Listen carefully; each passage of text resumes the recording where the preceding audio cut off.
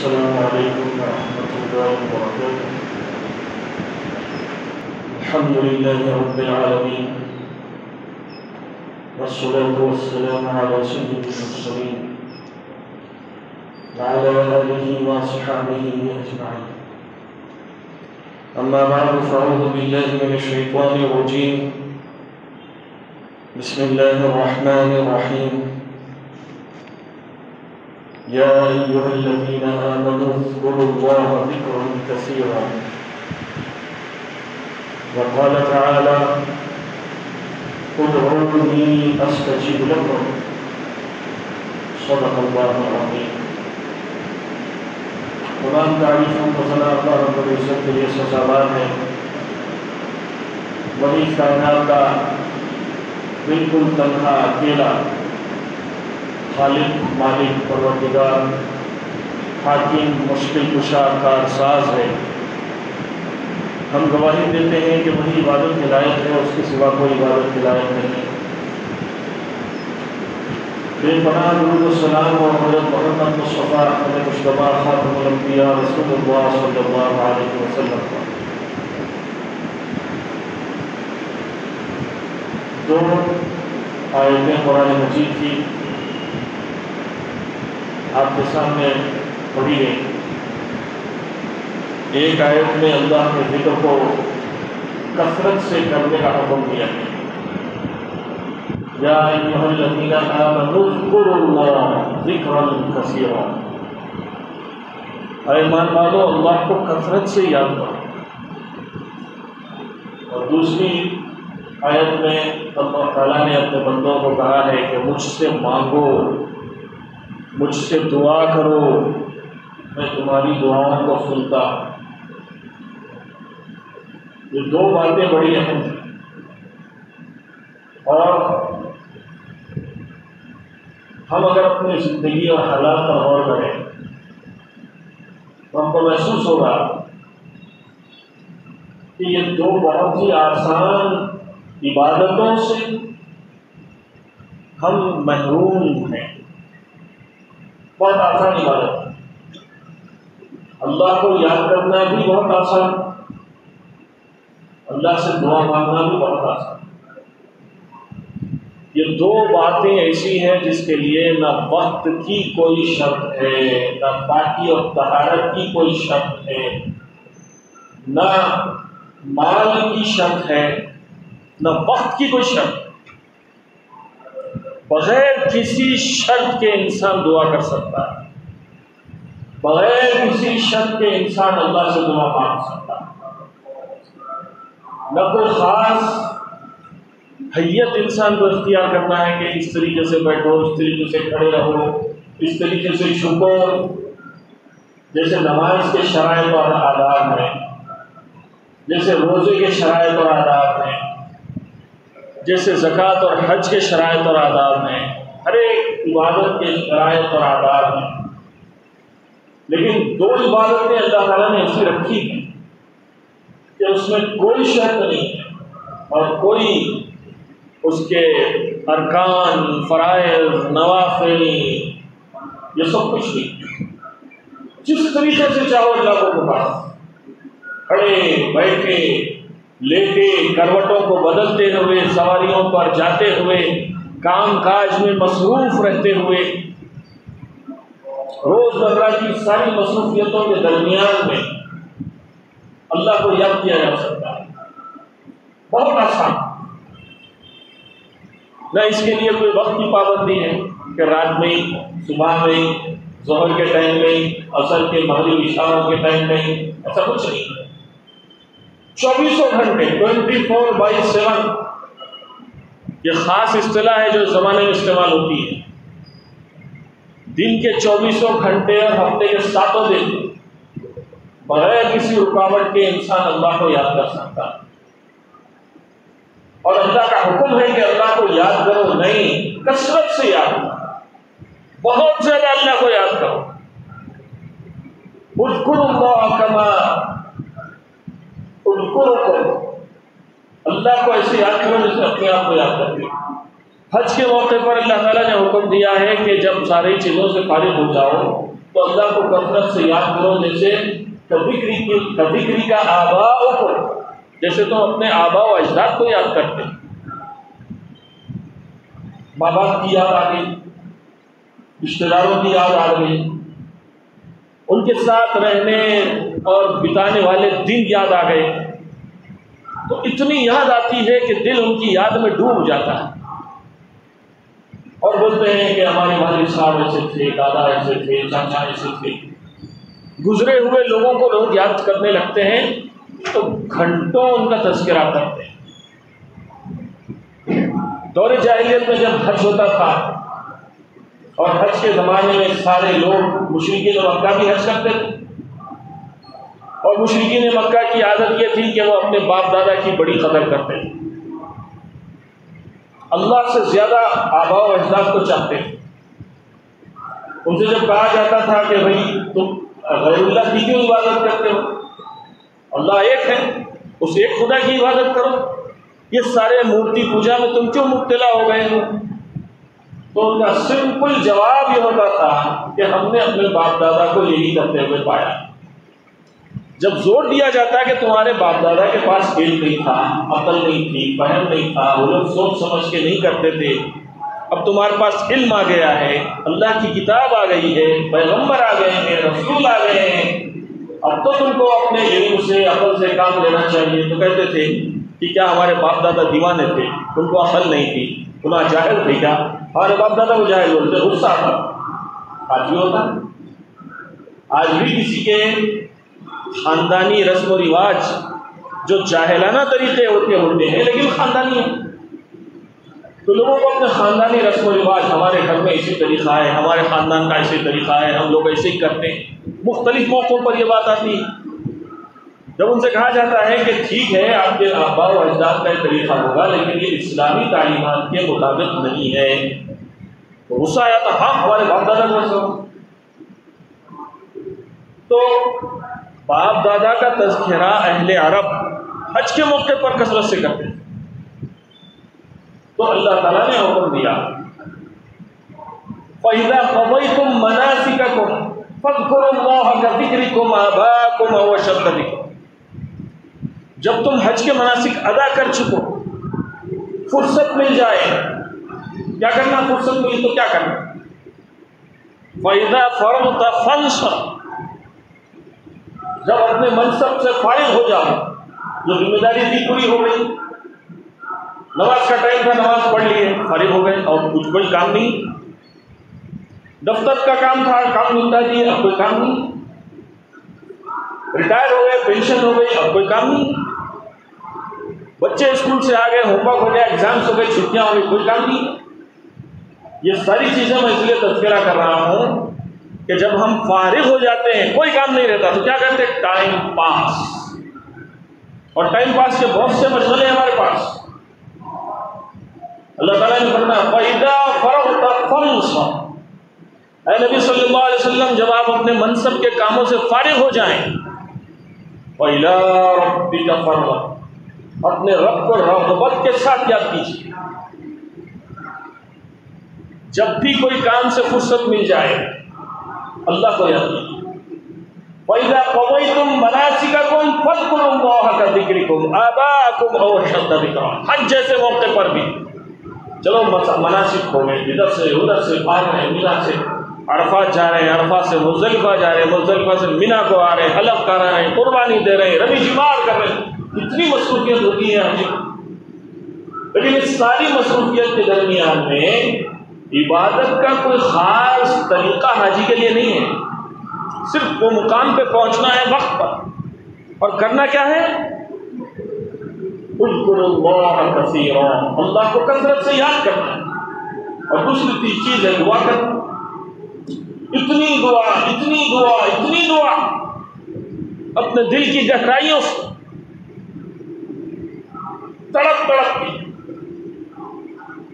مخلصین الدین۔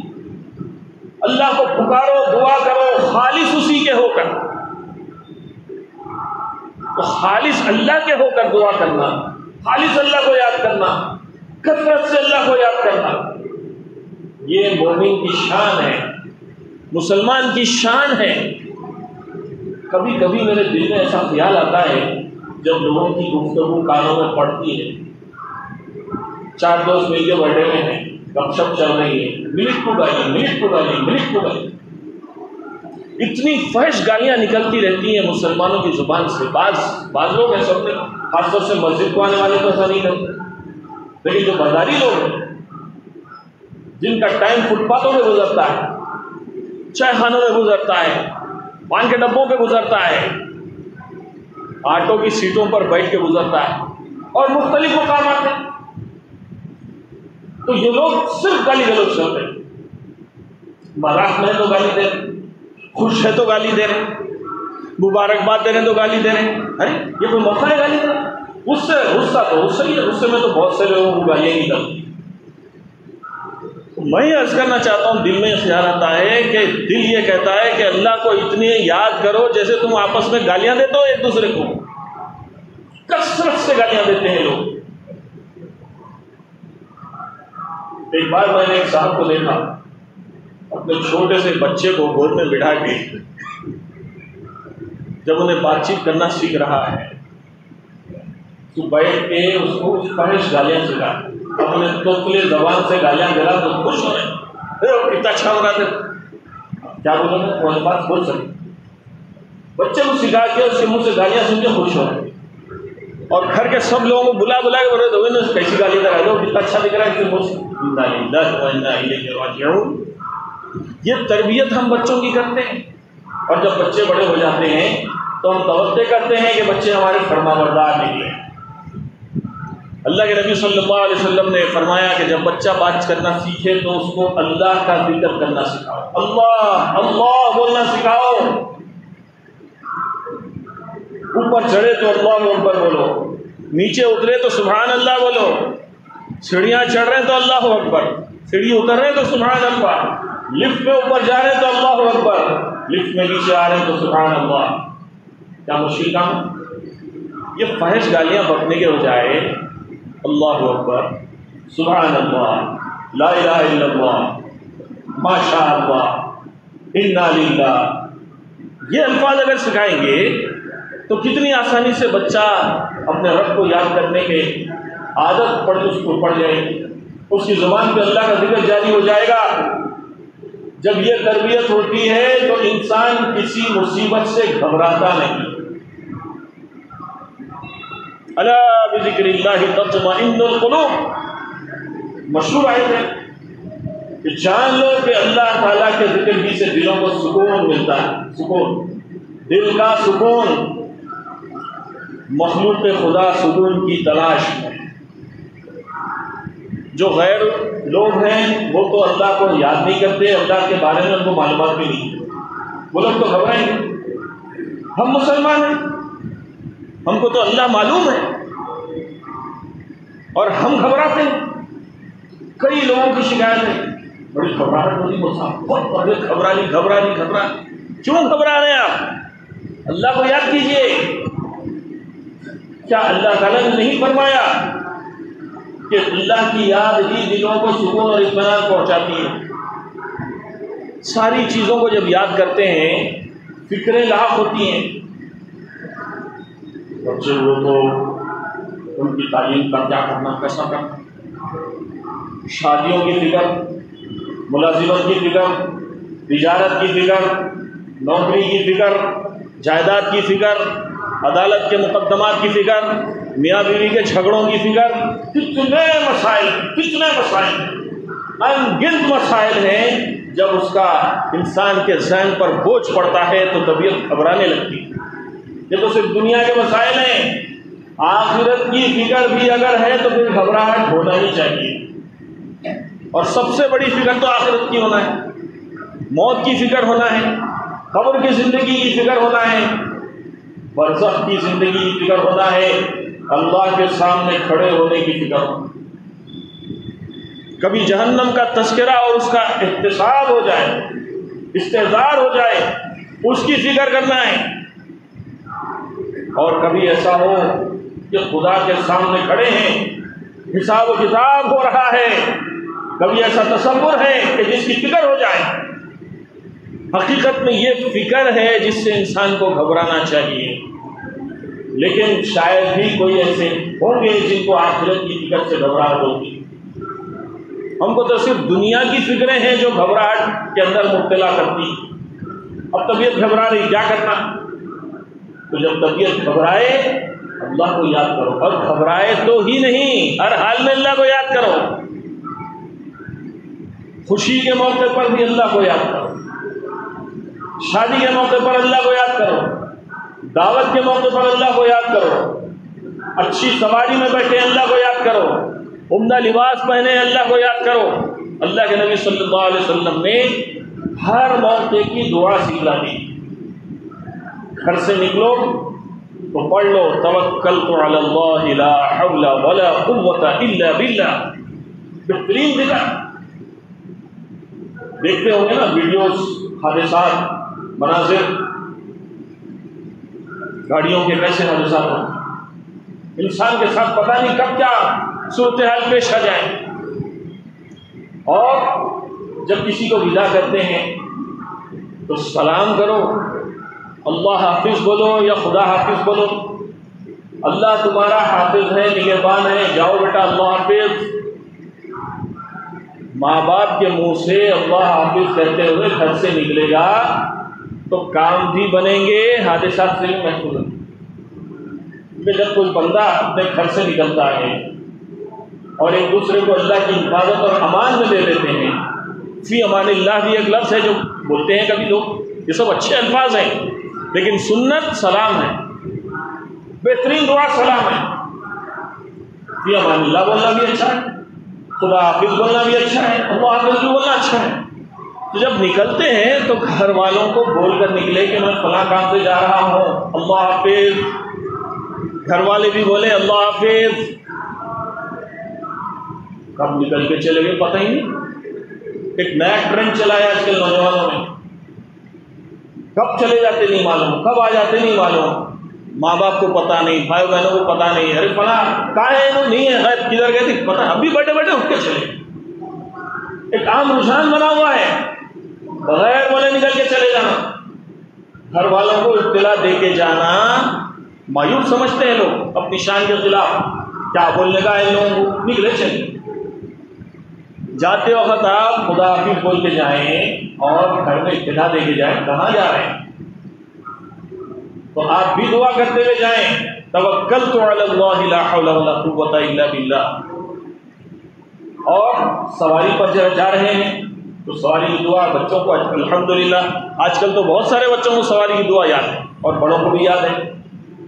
سبحان الذي سخر لنا هذا وما كنا له مقرنين پاک ہے وہ ذات جس نے سواری کو ہمارے کنٹرول میں کر دیا، کنٹرول میں۔ سب چیز کنٹرول میں ہے، ایکسیلیٹر، بریک، گیئر، کلچ، اور کیا کیا اس کے آپریشنس ہوتے ہیں۔ گاڑی کے سارے فنکشنز کنٹرول میں ہیں۔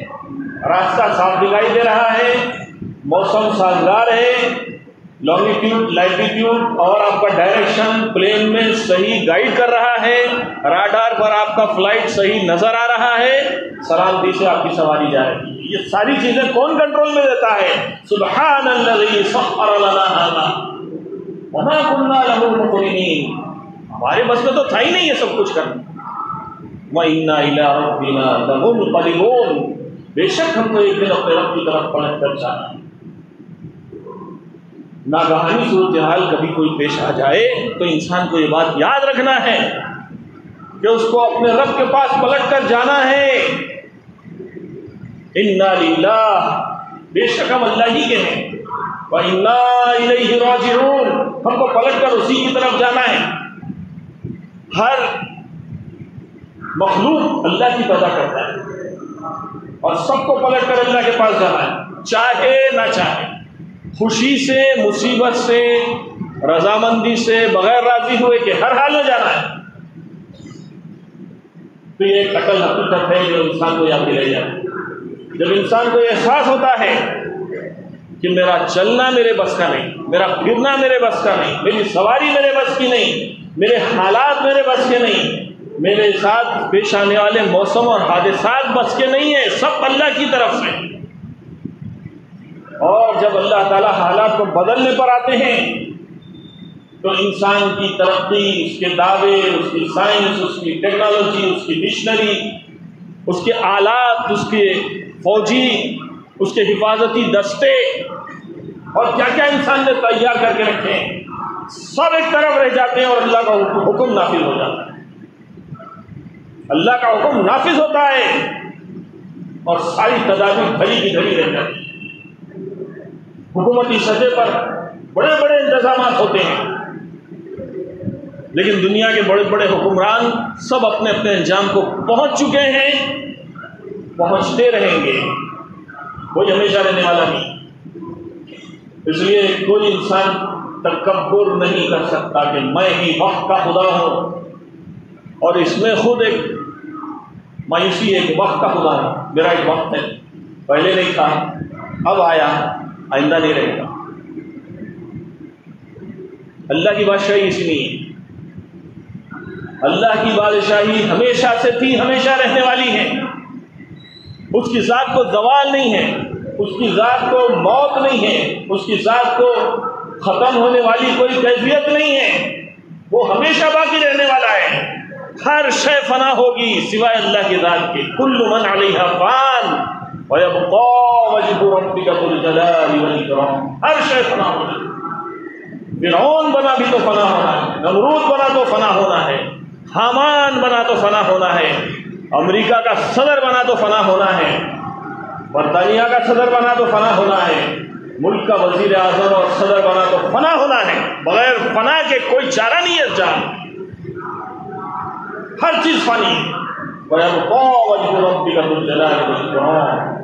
تمہارے رب کا چہرہ ہی ہے جو باقی رہنے والا ہے۔ اس لیے اس کو کثرت سے یاد کرو۔ گھر سے نکلو تو اللہ کو یاد کرو۔ بیت الخلا جاؤ تو اللہ کو یاد کرو۔ اللہم انی اعوذ بک من الخبث والخبائث۔ اے میرے رب، میں گندے شیاطین، چاہے وہ مرد ہو یا عورت، ان کے شر سے آپ کی پناہ مانتا ہوں۔ جب فارغ ہو کر واپس آؤ، تو دعا پڑھو الحمد للہ آفانی الحمد للہ ادب عن العذاب آفانی اللہ کا شکر ہے کہ تکلیف دے شے کو ہم سے دور کر دیا۔ عافیت عطا فرما جب آدمی کو ضرورت محسوس ہوتی ہے، کتنا بے چین ہوتا ہے۔ کتنی پریشانی لاحق ہوتی ہے۔ ابھی اچھا ہنستے بولتے بیٹھے تھے، طبیعت میں تغیر پیدا ہو گئی۔ چہرے کا رنگ بدل گیا۔ اٹھ کے جانے لگے۔ ابھی آپ آدمی بیٹھ نہیں سکتا۔ دو سیکنڈ نہیں بیٹھ سکتا۔ جب ضرورت کا تقاضا، شدت اختیار کر لیتا ہے۔ اور جب فارغ ہوتا ہے تو اطمینان اور سکون جسم کو حاصل ہوتا ہے۔ دماغ کو سکون مل جاتا ہے۔ کبھی کسی کا پیشاب اٹھ جاتا ہے۔ قبض ہو جاتا ہے۔ ضرورت سے فارغ نہیں ہو پاتا آدمی۔ کیا اس کی بے چینی رہتی ہے؟ کیسی تکلیف ہوتی ہے؟ اور جب وہ غلازت جسم سے چلی جاتی ہے تو انسان کو سکون حاصل ہوتا ہے۔ اللہ کو یاد کرو۔ کثرت سے اللہ کو یاد کرو۔ اللہ۔ کثیر اللہ کو کثرت سے یاد کرو۔ الذین یذکرون اللہ قیاما وقعودا وعلى جنوبهم وَيَتَفَكَّرُونَ فِي خَلْقِ السَّمَاوَاتِ وَالْأَرْضِ اور زمین اور آسمانوں کی مخلوق میں غور و فکر کرتے یہ کوئی معمولی بات نہیں ہے جو دنیا چل رہی ہے۔ یہ جو کائنات اللہ نے بنائی ہے، یہ کوئی معمولی چیز نہیں ہے۔ جو اشیاء ہماری روزانہ کی اجتماعی میں آتی رہتی ہیں، ہم اس کو دیکھتے رہتے ہیں، تو معمولی دیکھتی ہیں۔ حالانکہ وہ بھی معمولی نہیں ہے۔ لیکن انسان کو آگاہ کرنے کے لیے اللہ تعالیٰ کبھی کبھی غیر معمولی واقعات رونما کرتے ہیں اور اپنی قدرت دکھاتے ہیں۔ ایسی قدرت دکھاتے ہیں کہ انسان حیران اور شکر ہو جاتا ہے۔ زمین ہے مستے شاندار سڑکیں بنی ہوئی ہیں۔ عالی شان گاڑی کے اندر جا رہے ہیں۔ اطمینان ہے دل کو کہ میری سواری کنڈیشن میں راستہ صاف ہے۔ نئی سڑک ہے، بہترین ٹریکس بنے ہوئے ہیں۔ دوڑ رہی ہے گاڑیاں، سینکڑوں ہزاروں کی تعداد میں سب آفیت سے پہنچ رہی ہیں۔ یہ تو روز کا معمول ہے۔ انسان غور نہیں کرتا اس پر لیکن اچانک حالات بدل اور دیکھتے ہی دیکھتے کوئی حادثہ پیش آ گیا۔ وہ گاڑی جو انسان کو زندگی کا، زندگی کی ضمانت دے رہی تھی، محفوظ سفر جس کے اندر ہو رہا تھا۔ کبھی اچانک حادثے کا شکار ہو گئی اور انسان اسی کے اندر ہلاک و برباد ہو گئے اللہ تعالیٰ اپنی قدرت کی نشانی دکھانا ہے۔ ساری تدابیر ایک طرف اللہ کا حکم نافذ ہو جاتا ہے۔ علیہ صلی الحاکمین۔ کیا اللہ حاکموں کا حاکم نہیں ہے؟ کیا اللہ حاکموں کا حاکم نہیں؟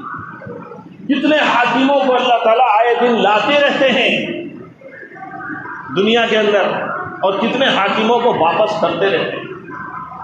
قل اللہم مالک الملک تؤتی الملک من تشاء وتعز من تشاء وتذل من تشاء بیدک الفضل۔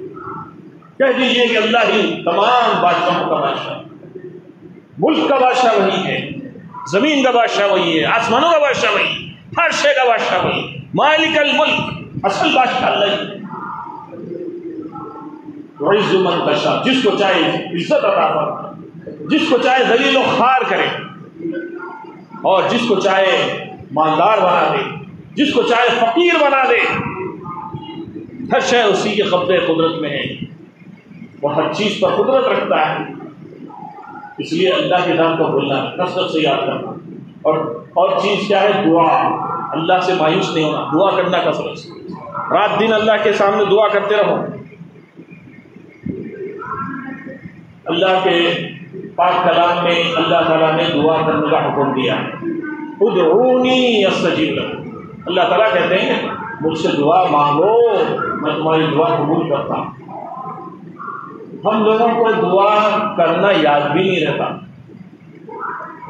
ذرا کچھ حالات بدلتے ہی طبیعت ادھر ادھر منتشر ہو جاتی ہے۔ ادھر جائیں گے، ادھر جائیں گے، ان سے پوچھیں گے، ان سے پوچھیں گے۔ عاملوں کا بھاگتے ہیں مجمع لگا ہے عاملوں کے پاس۔ عورتوں کی بھیڑ لگی ہے۔ مختلف مسائل لے کر گئے ہیں۔ کوئی عمل کر دیجیے کوئی تعویذ دے دو، کوئی تھاڑا باندھ دو کوئی کڑا ڈال دو۔ کوئی گلے میں، کوئی ڈنڈ پہ، کوئی ہاتھ میں پٹیاں لگی ہوئی ہیں، کالی ڈوری گلی ہری ڈوری، لال ڈوری، کیا ہے یہ؟ اور فلاں جگہ کی ہے درگاہ کی ہے مقصد دیے سو ہے یہ ہے، وہ ہے، پڑھ کے دیے سو یہ سب شرک ہے سب شرک۔ یہ تھالوں میں، یہ ڈوریوں میں، یہ گلے میں ڈالنے والے چینوں میں کوئی قدرت نہیں ہے۔ دل کی گہرائی سے اللہ کو یاد کیجیے اس کو پکاریے۔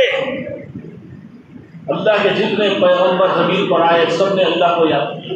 گزشتہ دنوں میں ہم نے ابراہیم علیہ السلام کی یاد منائی۔ ابراہیم علیہ السلام نے اپنے اپنے لیے، اپنے بیوی بچوں کے لیے بہترین دعائیں کی، اس کی تفصیلات آپ کے سامنے آ چکی ہیں۔ آج میں آپ کے سامنے حضرت زکریہ علیہ السلام کی دعا پیش کر رہا ہوں۔ حضرت زکریہ کو بھی بڑھاپے تک اولاد نہیں ہوئی تھی۔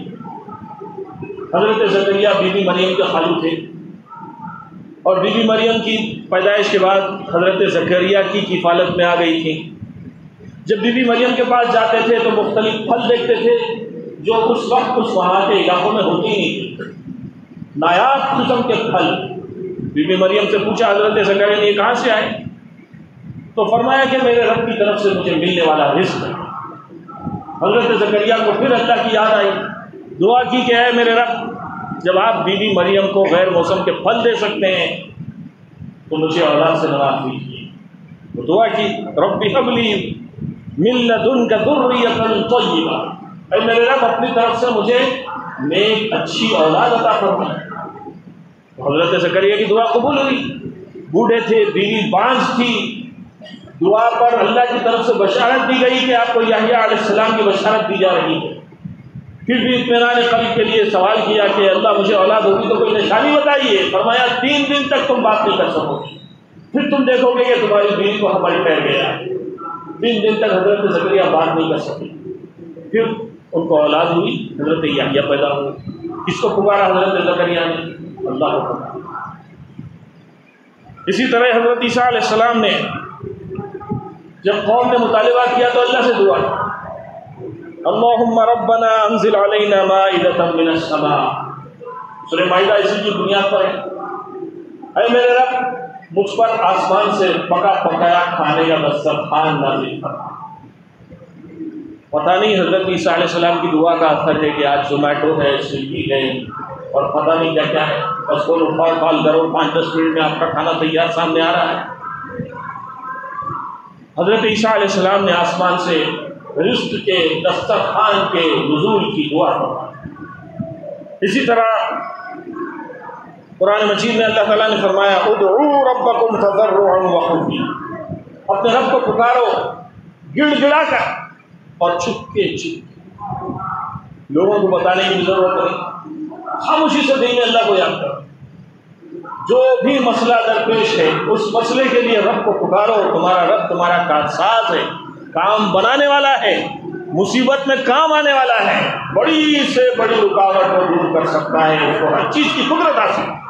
اس کی ذات پر یقین رکھو۔ نظر وقف کیا اور پھر بہت سی دعائیں پیغمبروں کی ہیں۔ بہت سی دعائیں وہ ہیں جو اللہ کے نبی صلی اللہ علیہ وسلم نے ہم کو موقع ب موقع سکھائی۔ جب انسان دعا کرتا ہے تو اس کو دو فائدے ہیں۔ ایک تو جو دعا کرا وہ مل جاتی ہے۔ دوسرے وہ اللہ کے ذکر کرنے والوں میں شمار ہو جاتا ہے۔ ایک تو صرف اللہ کا ذکر اللہ کو یاد کرو اور دوسرا ہے اللہ کو دعا کے ذریعے یاد کرو، اپنی مصیبتیں اس کے سامنے رکھو۔ اور اللہ کی ذات ایسی ہے جو مانگنے سے خوش ہوتی ہے۔ دنیا کے بڑے بڑے سخی لوگ جب ان سے زیادہ مانگا جاتا ہے تو ناراض ہو جاتے ہیں۔ لیکن اللہ تعالیٰ اپنے مانگنے والے بندوں سے خوش ہوتا ہے۔ اس لیے اللہ کے نبی صلی اللہ علیہ وسلم نے فرمایا دعا مخ العبادت دعا عبادت کا محض ہے۔ اور ایک روایت میں آپ نے فرمایا العبادت هو دعا اصل عبادت تو دعا ہی ہے۔ الحمدللہ، جب انسان کہتا ہے، تو بعدیں اس کے صرف ترجمہ کریں گے تو ساری تعریف اللہ کے لیے ہے۔ لیکن صرف اللہ کی تعریف کرنے میں بھی دعا کا مفہوم پایا جاتا ہے۔ اس لیے بہت سی دعاؤں میں الحمدللہ کا لفظ آپ کو ملے۔ گا کہ اللہ کی تعریف کرنا بھی اللہ سے دعا مانگنے کا ایک طریقہ ہے۔ اس لیے اللہ کو کثرت سے یاد کرنا، اللہ سے دعا مانگنا، اللہ کے ذات سے مایوس نہیں ہونا، اللہ سب کچھ کرنے والا ہے ہم اسی کے بندے ہیں اور وہ ہمارا خالق و مالک ہے۔ اس کی ذات سے مایوس ہونا اصل مایوسی ہے اور مایوسی ہی اصل کو ہے۔ تو آج کے اس نشست میں آپ حضرات اس بات کو یاد رکھیے، لیکن ایک آخری گزارش یہی ہے کہ بہت سارے لوگ بہت سارے ذکر و اذکار کرتے ہیں۔ ہزاروں بار بیجوں پہ اللہ کا ذکر کرتے تصویر پہ اللہ کا ذکر کرتے لیکن فرائض سے غافل ہے اللہ کو وظیفے بہت پڑھتے ہیں لوگ، لیکن فرائض ادا نہیں کرتے۔ دو دو، چار چار گھنٹے بیٹھ کے وظیفے پڑھتے ہیں، لیکن فرض نماز ادا نہیں کرتے۔ یہ بہت بڑی بتائیے آپ چوبیسوں گھنٹے اللہ کو یاد کیجیے لیکن فرائض ادا نہیں کریں گے تو پھر وہ ذکر آپ کے کام آنے والا ہے۔ اس لیے وقت پر نماز کا پڑھنا بھی بہت ضروری ہے۔ رات بھر عبادت کرے، فجر میں سو گئے، فائدہ کچھ نہیں حضرت عمر کے زمانے میں ایک شخص کو دیکھا کہ فجر کی نماز میں غیر حاضر، پہنچ گئے اس کے گھر پہ، دستک دی، پوچھا فلاں شخص آج نہیں آیا؟ کیا بات ہے؟ اندر سے آواز آئی، رات بھری نفی پڑھ رہے تھے، فجر کے ٹائم نیند لگ گئی حضرت عمر نے فرمایا کہ کاش کے رات بھر سو جاتا اور فجر میں اٹھ کے نماز پڑھ جاتا اب رات بھر نفل پڑھتے ہوئے ہماری رات گزر رہی یا دعوتوں میں گزر رہی؟ یہ بھی سوال ہے۔ ایک دعوت میں ہے، پوری رات ختم۔ گیارہ، بارہ بجے تک کھانا ہی پھر اس کے بعد دو صحبہ، ملاقاتیں گل پوشیاں روانگیاں توشے بندے جانا، گھر پہنچے تک فجر۔ پوری رات دعوت میں، پوری رات شادی خانے میں۔ اور فجر گول اب کیا اللہ کی یاد آئی؟ کیا دعا قبول ہوگی؟ دعا کرنا یاد بھی رہے گا۔ یہ سارے سوال ہیں جس پر سنجیدگی سے غور کرنے کی ضرورت ہے۔ اللہ تعالیٰ ہم سب کو توفیق فرمائے۔ بات الحمد للہ